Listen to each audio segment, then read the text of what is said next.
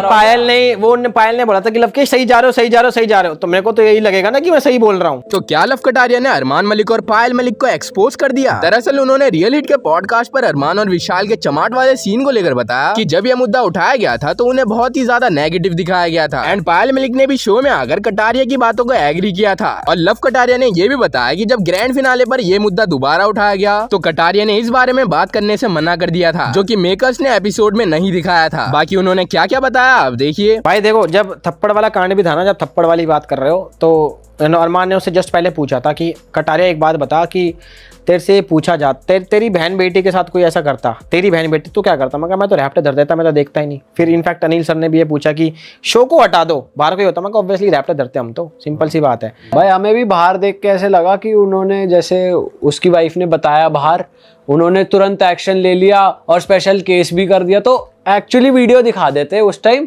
तो बहुत चीज़ें क्लियर हो जाती क्योंकि उसकी वो एक लाइन की वजह से ही भाई पायल ने वो ने पायल ने बोला था कि लवकेश सही जा रहे हो सही जा रहे हो सही जा रहे हो। तो मेरे को तो यही लगेगा ना कि मैं सही बोल रहा हूँ। सही बोल रहा हूँ आखिरी वाली मेरे को करेक्ट नहीं किया गई ना गुड अवे वो मेरे को वहाँ पे ना भैया आपको याद नहीं रहती चार घंटे पहले आपने क्या बोला? है। आपको बस याद रहेगी कि ये बात हुई थी। मीनिंग याद रहेगा बात का पर वर्ड टू वर्ड थोड़ी याद रहता है यार।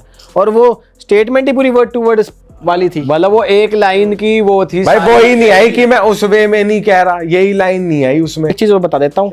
मैंने वहाँ बोला था मगर सर मैं कुछ नहीं बोलना चाहता।